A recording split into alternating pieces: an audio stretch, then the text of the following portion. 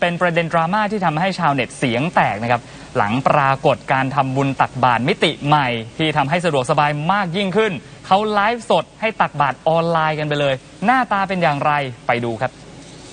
คุณรัติกรค่ะหนึ่งชุดจ้า คุณพรเพนหนึ่งชุดพร้อมดอกไม้ค่ะ นี่แหละครับคุณผู้ชมสิ่งที่ทำให้ชาวเน็ตเสียงแตก บางคนก็มองว่ามันก็โอเค บางคนก็มองว่ามันไม่เหมาะสมอืมกับการไลฟ์สดให้ตักบาตรออนไลน์แบบนี้ คือทาง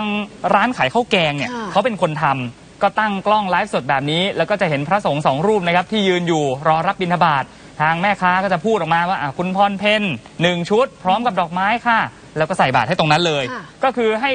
คนดูเนี่ยคุณผู้ชมท่านไหนที่ดูอยู่บ้านเนี่ย ก็โอนเงินเข้าไปอืมบอกชื่อบอกนามสกุลเข้าไป เขาก็จะทำให้แบบนี้ คือมองมุมหนึงก็มันก็ง่ายค่ะมันก็สะดวกสบายเหมาะสมกับยุคสมัย แล้วคนที่อยู่บนเตียงอย่างเงี้ยสมมติคุณตื่นนอนมาตื่นสายอะคุณก็ทำบุญได้ หรือถ้าคุณเป็นผู้ป่วยติดเตียงอ่าออกจากบ้านลำบากไปวัดลำบาก แบบนี้ก็ทำบุญได้เหมือนกัน แต่ทีนี้อีกฝั่งหนึ่งครับก็มีชาวโซเชียลบางส่วนที่ตั้งคำถามถึงความเหมาะสม ว่าเป็นพระมายืนรับบิณฑบาตแบบนี้ได้หรือไม่ แล้วก็ตั้งข้อสังเกตด้วยว่า ของที่ใส่บาตรไปเนี่ย ค่ะ เอามาเวียนขายซ้ำๆซ้ำๆหรือเปล่า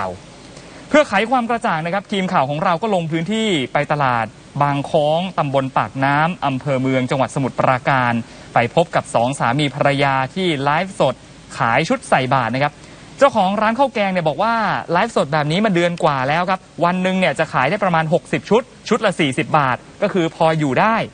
ส่วนประเด็นดราม่าที่พระมายืนรับบาตรก็เป็นพระที่เดินผ่านร้านทุกวัน ไม่ได้มีการเจาะจงว่าเป็นรูปไหน และอาหารยืนยันนะครับว่าไม่ได้มีการวนเอามาขายซ้ำแน่นอนไปฟังเสียงครับ มีสิทธิคิดต่างคนต่างคิด ผมผมคิดว่าช่องทางของผมอะเหมาะสำหรับผู้ป่วยติดเตียงที่ไม่มีเวลาสำหรับคนที่มองผมในแง่ร้ายสักวันหนึ่งเขาต้องเข้าใจผมเอง ว่าผมทำด้วยใจซื่อบริสุทธิ์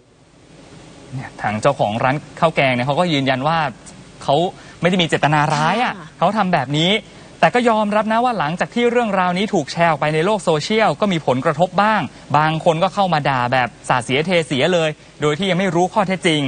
และพระสงฆ์ที่เคยมารับบาตรบางรูป ก็ไม่กล้าเดินผ่านหน้าร้านแล้ว เพราะกลัวว่าเดี๋ยวจะมีชาวพุทธไม่สบายใจ แต่ส่วนตัวก็ไม่ได้ถือโทษโกรธใครนะครับ และทุกคนเขาบอกว่าเดี๋ยวจะเข้าใจในสิ่งที่ตนเองทำเอง